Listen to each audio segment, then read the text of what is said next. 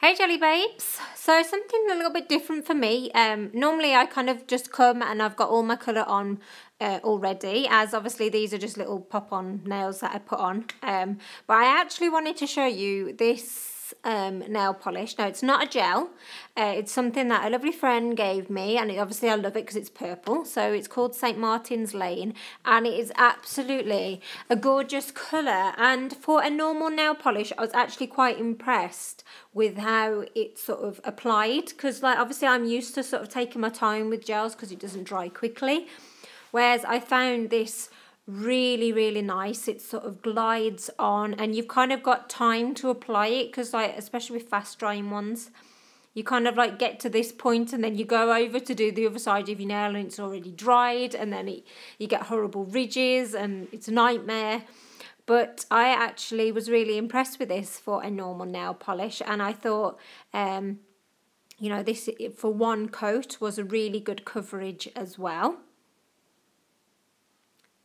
so just showing you together. This, this second one's had two coats, so I was really, really impressed with it. So I just wanted to show you really, sort of give you a little quick demonstration of it. So I'm just going to go ahead and apply the second coat. I will will be putting a gel top coat over this, which you can do. You just want to make sure that your nails are completely dry before you do that, else it can kind of wrinkle underneath the lamp if you do it too quickly. So please ignore my gorgeous holo finger. I can't believe I'm saying that, but it kind of didn't work with the rest of the colours. I had this, it was one of those, you know, you have these fabulous ideas in your head, but it didn't quite work out. So I do change it at the end of the video. I'm just being lazy. I couldn't be bothered to sort of record it all again from the beginning. So I'm going to be filling in this gorgeous image off of this plate and I'm using Sharpie pens, but these are ultra fine um, which are great for nail art. And I actually got them ages ago and I tried to use them and it didn't work. And then I watched a video recently that Swanette did where she used these um, pencil, uh, sorry, pens, and she had a paper to hand, and every time it kind of went a little bit dry, she would squiggle on the paper, and then you could just apply it to the nail like so. And because they are ultra fine, you really can get it in without going over the lines. And it's kind of like colouring in, which I really love.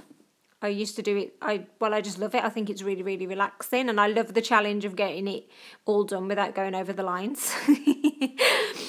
so uh, when I did this, it kind of, on the camera anyway, it looked like it basically was just blue and you couldn't see the purple. So hopefully you can see the difference between the purple and the blue. But basically I'm going to go ahead and carry on and apply the colours to the nail. So it's so much more quicker using the Sharpies when you just colour it in and it's dead quick to dry also. So I've got this gorgeous glitter that I uh, got from GlitterArty and they're lovely and they're round and they're holographic and they're just gorgeous and it's got some lovely autumn colours in there.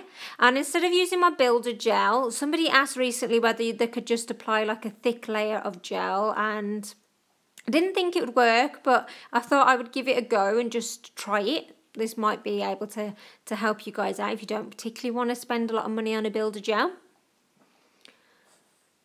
And I'm just placing it into the nail. Now, obviously, because it's gone on quite thick, you kind of need to just fill your nail with the glitter completely in the one go. You're not going to be able to kind of build up the layers, so you can't quite have the encapsulated effect, but you can apply the glitters on here and know that they're not going to sort of ping off because they kind of sink into the um, the top coat.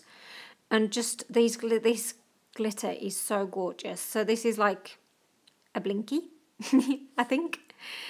And I found a good way to apply these is like to use a brush. It's like a little bit wet on the ends. It kind of picks it up really well. So hopefully you can see all the different colours that are going on with these glitters. They are gorgeous. And then I'm applying a top coat over the top. And obviously you just want to try and make it as thin as possible because this it is quite a bit thicker doing it this way than with the Builder Gel. So I'm wiping off the tacky layer before I get my buffer and you really want to sort of try and get the layers down so it's not like a dead thick nail. Don't worry about it ruining or, you know, dulling the effect. As soon as you put top coat over the top, the sparkle comes straight back. Okay.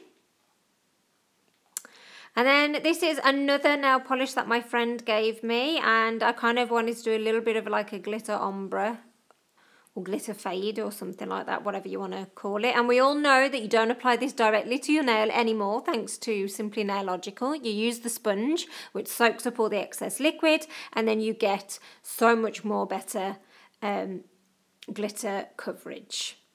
Okay, so that's after the one coat.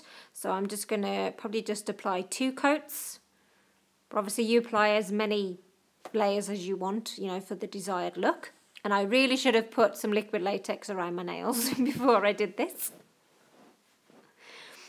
Okay, so that's how I'm going to leave it. And then I'm just going to go ahead and apply my gel top coat as well. Okay, so now I've obviously changed the other nail. I just think that the it kind of went with the colours better. I think there was just too much going on with the holo, with the stamping, with the blinky. It was just too much in my opinion. So I really like this look. I think it's gorgeous for autumn. It's got a lovely, rich feel to it and fairly simple to achieve as well. And I really hope that my jelly babes like it. Thank you so much for coming and checking out this tutorial. Please like, comment and subscribe and you can do that by clicking in the top bottom right corner right now. And until next time, bye Jelly Babe.